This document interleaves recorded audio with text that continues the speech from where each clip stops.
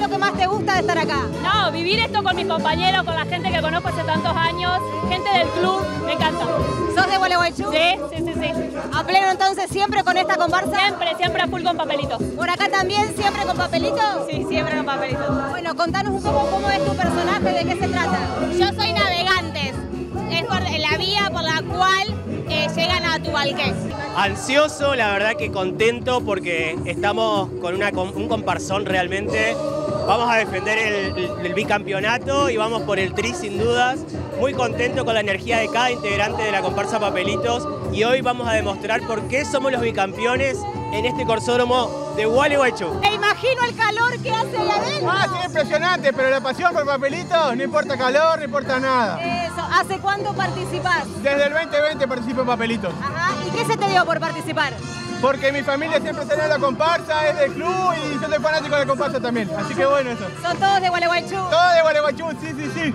¿Qué significa el carnaval para vos? Una pasión, mirá, mirá, lo tengo tatuado. ¡No! Tenés tatuado papelito. Por eso, es una pasión. Soy de Paraná. ¡Ah, sos de Paraná! Bueno, ¿y qué hace un paranaense participando acá como tantos otros en el carnaval del país? ¿Cómo te preparaste para esto? Bien, fanático de carnaval, así que desde el 2007 salgo en la comparsa, siempre en Pape, y bueno, ahora defendiendo el tricampeonato. Sí, la verdad que estoy muy contenta, mucha ansiedad, eh, la verdad que muchos queríamos que arranque el carnaval, así que eh, ahora es el momento y estamos todos muy contentos eh, y bueno, y ansiosa. A buscar de nuevo el título, ¿sentís una presión extra por eso? La verdad que sí, que, que es lo que estamos buscando y estamos muy bien, muy contentos con la comparsa, así que bueno, a defender eh, y para que la copa se quede en casa. Para nosotros, los gualeguaychenses, cada vez que empieza esta fiesta, significa que se despierta el evento más grande que tiene la ciudad, con tantos artistas en escena.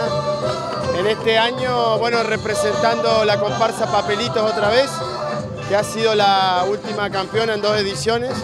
Así que una felicidad muy grande y ahora a punto de empezar a afinar los, los tambores, los instrumentos, para que hoy sea una, una, noche muy linda. ¿Hay una presión extra con esto de la necesidad de defender el título? Pasa, pero, pero en realidad los carnavaleros disfrutamos de, del momento, de la pasarela, de que la gente le guste lo que hacemos. Y bueno, una cuotita aparte es la disputa que, que se da entre cada comparsa, pero siempre con, con la felicidad y el orgullo de pertenecer al carnaval.